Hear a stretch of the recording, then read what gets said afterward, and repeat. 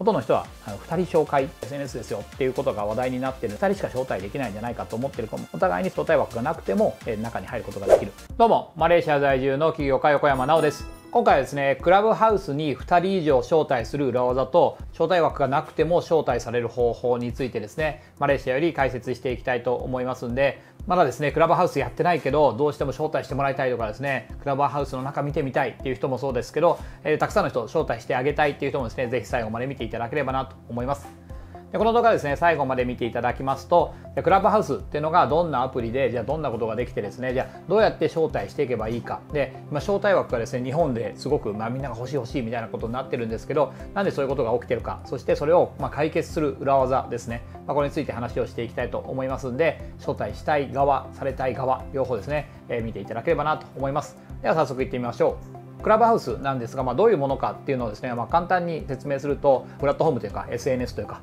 まあ、このコンセプトはセレブの雑談をですね盗み聞きするっていうのが、まあ、一応コンセプトなんですね。ですから誰かいろんな有名人がどんな話してるかとかいろんなですね業界のトップの人たちがどんな会話をしてるのか、まあ、そういうのを盗み聞きできる音声版のツイッターとかっていう言われてるんですけどその音声版のツイッターってどういうことかっていうと録音されてないんですね聞き逃すと二度と聞けないっていうところもあって、まあ、ツイッターみたいに流れていくと。で流れていく中で、まあ、有名人がなんか喋ったりとかですねそれツイッターでツイートするのを見ていくっていうのがあったりするわけですけどそれを、まあ、有名人とかいろんな人がですねその音声でどういうことを会話してるかっていうのを盗み聞きすると、まあ、そういった、SNS ですね。で時価総額もすでに1億ドルということで100億円以上になっていてで iPhone のみ今対応しているので Android の人はまだ使えないという状態なんですけど、まあ、これもまあ徐々に対応を当然していくというところだと思いますんで日本でもですね爆発的に流行っていると。でそのポイントとしてはその招待制で1人2名までの招待ということで僕自身ももう招待してもらって2人も使っちゃったんですね。そうすると僕自身はもう招待できないみたいな状態になるわけなんですが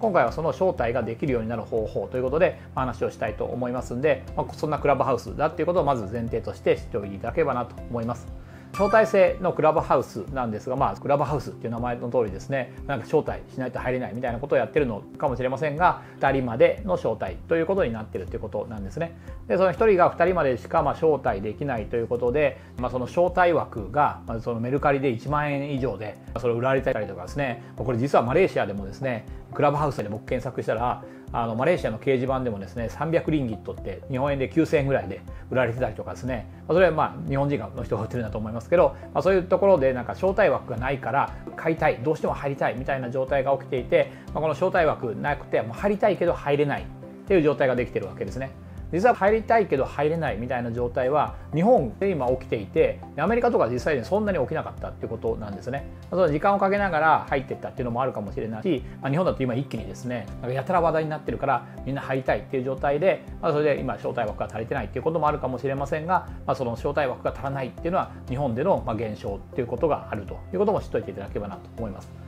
でじゃあどうすれば招待されるかその本題で入っていくとですね招待される方法は、まあ、大きく分けると3つあります。3つですね。1つ目ですね、まあ、一番、まあ、分かりやすい方法でクラブハウス始めましたみたいなのが Facebook とかですね Twitter とかでも結構流れてると思うんですね。でその自分の Facebook の知り合いとかその人たちが招待されました、えー、とかですねクラブハウス始めましたっていうふうに書いてる人でそういう人たちにメッセージを送っていくってことですね。クラブハウス始めたばっかりの人って招待枠まだ2個持ってる可能性があるわけですよ。で僕自身もクラブハウス始めた時に誰招待しようかなってやっぱ考える時間があるわけですね。でその考える前にクラブハウス始めましたってみんなに言ったりするわけですね。でその時に、まあ、すぐ連絡してですね招待枠ないかと入れないかっていうことを伝える、まあ、それで招待してもらうっていうのが一番分かりやすくすぐに、まあ、実際招待してもらえる方法ですね。僕自身は、えっと、3人に、ま、一斉にメッセージを送ったんですけどでそしたら3人ともいいよって言われたので言ったら100%でそれでいけたので始めましたみたいな人にメッセージをしてみるっていうのがいいと思いますし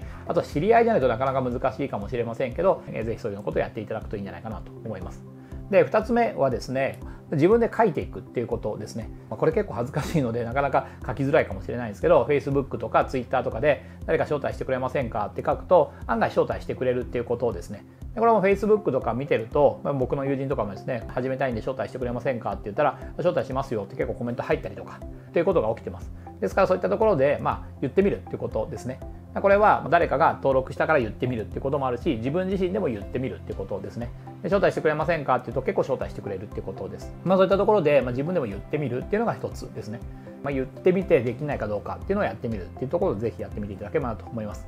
で3つ目の方法はその招待し合うようなグループ、まあ、そういうグループがあればそこに入ってもらうということです。でただこれですね実際僕もグループ作ってやってみたんですね。A さんが招待したら次 B さん招待して B さんが C さん招待して C さんがって言って20人とか30人のグループでやってみたんですけどすげえ時間かかるんですよ。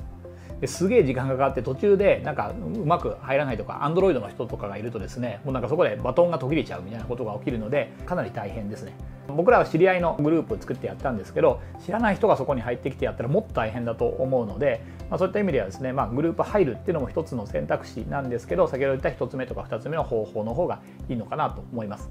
であとはですねそのメルカリで買うっていうのもですね、まあ、裏技としてはある裏技というか邪道の技としてはあるわけなんですがちょっとこれはお勧めしないです。っていうのもですね今ですねその招待枠が増えるってことがあるできてるんですね。この後話をしますけど招待枠っていうのがもともと2人っていう話だったんですけどもっと招待枠が増えたりとかですね今5人の枠になってる人も出てきてるというところもあるので、まあ、そういった話もありますんで、まあ、招待枠どんどん増えていく可能性があるとあとはこの後話をする招待枠がなくても招待できる方法があるので、まあ、そっちがどんどん普及していけばですねどの2人の招待枠じゃないとですね招待されないっていうわけにもならないので、まあ、その辺りですねこの後話をしたいなと思います。招待枠を増やすっていうところをまず先に話をしたいなと思うんですけど実際ですね2つ使い切った後に招待枠が増えます。でどういうことをやると招待枠が増えるかっていうとどういうルールで何やったら招待枠が増えるかっていうのは、まあ、ルールとしては決まってるんだと思いますけど公表はされてません。どういうことをやると招待枠が増えるかっていうとまずはですねアクティブなユーザーということですねルームを作ってですね、まあ、モデレーターというそのルームを作った人であったりとか、まあ、そういうアクティブにどんどん活動してる人にはですね2枠追加しましたみたいな形でなんかもう2日おきに2枠ずつもらってますみたいな人もいるんですね。ですからそういった意味では招待枠増えるっていう人もいるのでアクティブに動いてる人で招待枠がどんどん出てきたらですねまたそれで誰か招待してくれるっていうところもあると思いますしそのクラブハウス側としてもですね、まあ、日本で今招待枠が足らないみたいな状態になってるとですねもうどんどん招待をしてもらった方がある程度いいわけですね。だからそういった意味では招待枠を増やしていくってこともやると思いますので、まあ、そこは待っておけば招待枠が増えてそれで使えるようになっていく。もしくはもっと招待枠欲しいなと思ったらアクティブに使っていくってことをやっていただければ招待枠が増えていく可能性があるということですね。で招待枠がなくて招待コードがなくてもですね招待される方法もしくは招待することができる方法について話をしたいと思うんですがこの方法だと自分の招待枠も減ることがないわけですね。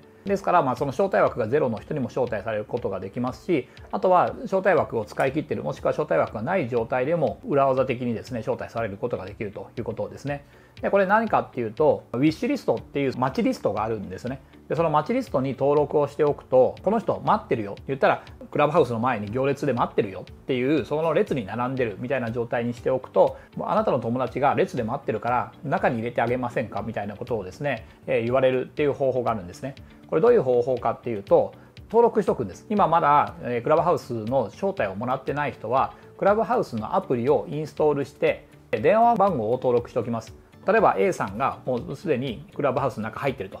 でそうしたらその A さんと招待してもらいたい B さんあなたが B さんだとするとでそうすると A さんと B さんで電話番号の交換電話帳にお互い登録しておく状態を作ります。クラブハウスってその電話帳でどういうふうにつながってるかみたいなやつがかなり見られてるんですね。だかそのクラブハウスの中に入ってる人と電話帳でお互いの電話番号を登録しておく必要があります。でこの電話番号でクラブハウスは紐付けをしていますんででこの日本で今答え枠が足らないみたいなことが起きてるのはこれ結構ここも理由としてあってもうなんか LINE で連絡し合ってると電話番号でつながってなかったりするんですね。LINE で電話番号でま登録してないくて LINE のアカウント ID だけで登録してやってる人って、まあ、若者とかも結構いると思うんですね。でそうじゃなくてもうこのクラブハウス自体は電話番号がつながってるかどうかっていうのが見られてます。お互いに電話番号が登録してある状態でで A さんはもうすでに中に入ってると。であなたが B さんだったらアプリをダウンロードしてで自分の電話番号を登録しとく。ID も取ってアカウントも作ってで待ってるよっていう状態。もう中入りたいですってアカウントの全部設定も終わってる状態ですね。アプリをダウンロードしてアカウントの設定も終わった状態でやっておくとあなたの電話番号を登録してる A さんがもう中にいるっていう状態だと A さんにですねあの B さんが待ってますよっていう連絡が出るんですねでそれでそこで「レッドゼムイン」っていうなんかボタンが出るんですそこのレッドデムインってやつを押すと、まるさんがクラブハウス入るのを待ってるよ。で、コメントが出てですね、招待しますかみたいなやつがあるんで、それ招待しますって A さんがクリックすると B さんも中に入れると。で、その時にこの招待枠を使わないんですね。だから何をすればいいかっていうところをまとめると、もしあなたがこれから招待されたいと思うんだったら、まずアプリをダウンロードするっていうことですね。で、アプリをダウンロードして、で、待っとく。でそうすると A さんとかいろんな人すでに自分の友達がいっぱいですねその中に入ってるとで中に入ってる状態でであなたの電話番号がその友達に登録されていて友達の番号も自分も登録してるっていうことですねお互いに登録してる状態だったら初対枠を使わない形でも中に入れてあげることができますですからポイントとしては皆さんですね招待枠がないと、えー、アカウント作んないっていうことをやってる人が結構いるかもしれませんがまずアカウント作りましょうということです。iPhone の人がアプリをダウンロードしてで電話番号、まあ、これ電話番号だからいっぱい登録しておいた方がいいわけです。とお互い登録し合っといた方がいいわけです。